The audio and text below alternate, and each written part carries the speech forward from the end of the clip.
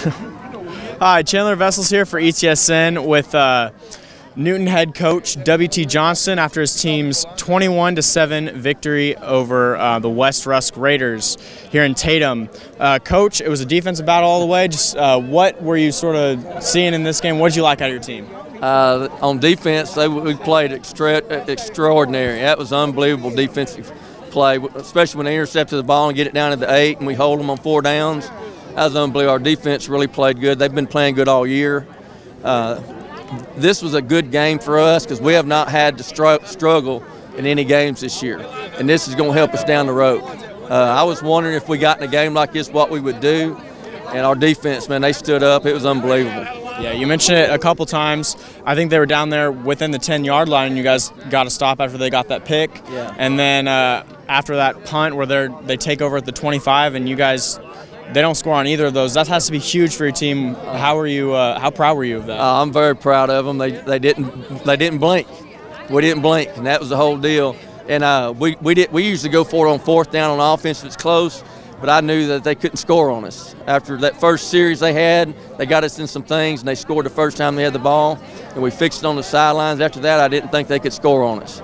And uh, so we played it pretty close to the vest tonight, more than I usually do, and that was just because of the way the defense was playing. Mm-hmm. Uh, Darwin Barlow had over 100 yards for you tonight. I mean, he's been doing that all season. Just how much of a difference does he make, especially in a game like this, where you're able to eat, sort of eat up some of that clock with him? The thing with him, he's he's a 200 pound kid. He's very strong, and he's always going forward. And uh, that was big tonight. He made some tough runs. Uh, another one was Kevin. Uh, Kevin Watson came in there and we ran a trap on third and 20, and he got 20 and a half. And that was probably the play of the game you know, because we got to keep the ball that we were going to have to kick from our end. So that was a big, big deal right there.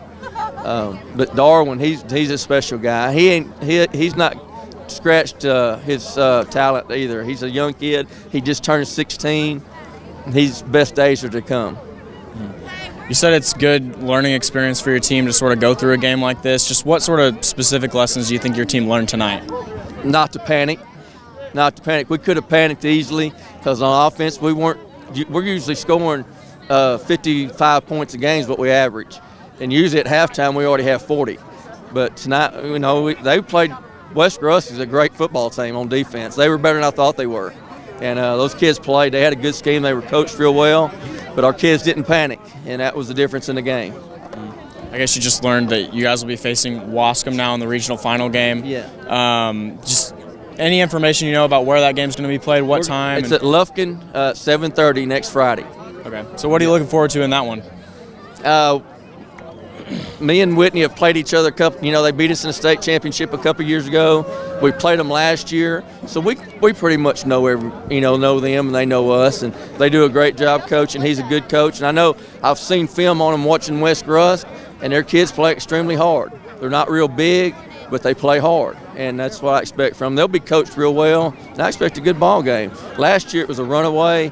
Uh, I think we scored 66 on them last year, uh, but it won't. I, they're a lot better this year, I think. All right. Well, congrats on the win this week, coach, and good luck next week. All right. Thank you. Thank you so much.